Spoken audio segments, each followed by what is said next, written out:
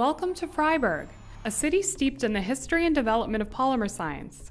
It was here, at the Albert Ludwigs University, that Hermann Staudinger carried out his pioneering work on macromolecules that led him to being awarded the Nobel Prize in Chemistry in 1953. Work that went on to underpin much of the world we know today, in applications such as healthcare, energy provision, and technology. Every year, some of the world's best polymer scientists meet in Freiburg to update each other on new developments and progress in the field. And some of the editors of the macromolecular journals, publications founded by Staudinger, took the opportunity to speak with some of the major players attending this year about their views on the future of polymer science, exciting recent developments, and the impact of polymer science on and their contribution to society. Well, when you take a look at uh, uh, the impact of polymers, yeah, it's pretty obvious. Yeah? Just close your eye and touch something, and you're likely to touch a polymer. Yeah? So our high quality of life would be unfeasible, unthinkable without polymers.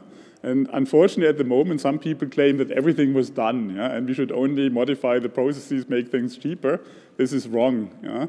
There's a lot of challenges out there. Take a look at people. People are getting older. They want to have high quality of life. Yeah? They are living in cities. They need energy. Yeah? And they need a lot of new materials. And uh, uh, when you take a look at this, uh, most of the materials, a, a, significant portion of it is polymers. Yeah? Why? It's very easy. You can e uh, easily tailor polymers. Yeah? And it's very easy to scale up. Yeah? And also, it's cheap. In my opinion, um one of the most important challenges in polymer science is at the moment that we can contribute to society in various aspects. And one aspect I want to highlight especially is energy research, and this is also the topic I'm representing. So what we try to do is research on materials which are energy related and eh, with energy related, um, I mean solar cell research, thermoelectric research, um, but also um, battery or supercapacitors, which are all applications which can be achieved with polymers.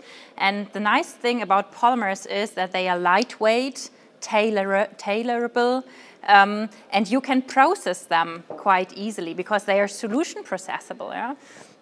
So just think about solar cells or thermoelectrics, which you can really make roll by roll on large sheets, just like a newspaper, yeah? and use that as energy source, essentially, yeah? or for, for energy saving. Yeah? So again, the lightweight point comes into the game. The biggest challenge in, in polymer application, of course, and this is something that uh, I don't know how to solve, is uh, what do we do with the waste we create? We produce 300 million tons polymers per year worldwide. We know we have a, almost a continent in the Pacific Ocean of uh, polymers drifting in, in, uh, and floating around that take hundreds, if not thousands of years to degrade. That is a big, big challenge for the future.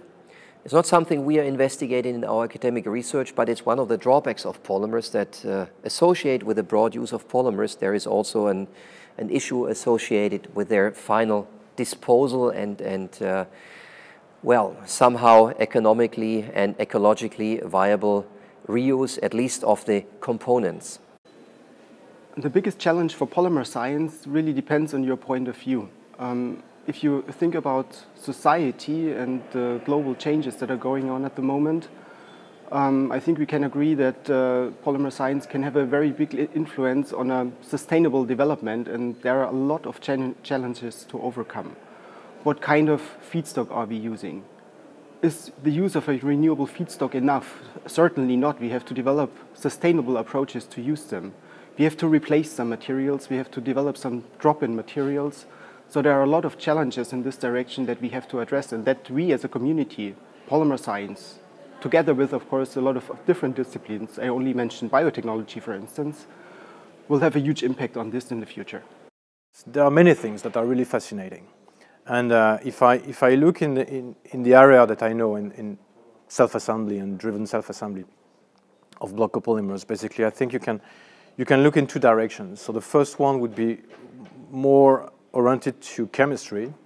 And I think in this area, um, we, we have a maturity in terms of control polymerization methods that we can, that we can have.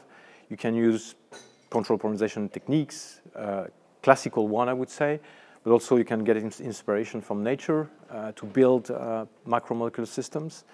And altogether, uh, I think now we can really design systems that are very well coded at the macromolecular level. So we can code, of course, for amphiphilicity. This is obviously what we do when we, when we design cell, uh, block copolymer systems. But we can include in the coding more sophisticated properties.